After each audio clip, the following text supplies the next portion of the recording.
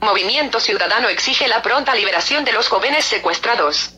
Villahermosa, Tabasco, 1 de agosto de 2012. La Comisión Operativa Estatal de Movimiento Ciudadano en Tabasco, se solidariza ampliamente con los jóvenes que fueron privados de su libertad de manera violenta en el municipio de Paracho, Michoacán, y exige a las autoridades federales, a las de ese gobierno y a las de aquel municipio el pronto esclarecimiento de los hechos y la liberación de los jóvenes militantes de Movimiento Ciudadano. Luis Enrique Castellanos, coordinador del Movimiento de Jóvenes en el DF. Diego Antonio Maldonado y Ana Belén Sánchez, se encontraban en Paracho, Michoacán, impartiendo talleres infantiles, enviados por Movimiento Ciudadano, en el marco del Festival Internacional de Globos de Cantoya, cuando un comando fuertemente armado los sacó de sus habitaciones en el hotel de la localidad y hasta el momento se desconoce su paradero y no se sabe nada de ellos.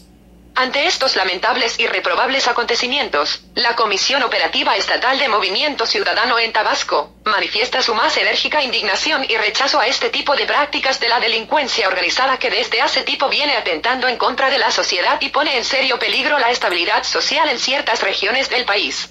Asimismo, esta comisión hace un llamado a todos los coordinadores de los movimientos de jóvenes en el país, a las organizaciones juveniles adherentes y afines a Movimiento Ciudadano y a la juventud del país en general para que se solidaricen y apoyen el reclamo de la presentación de los jóvenes secuestrados y a que realicen las acciones que crean convenientes con el fin de pedirle a las autoridades correspondientes tomen cartas en el asunto y se logre su pronta liberación.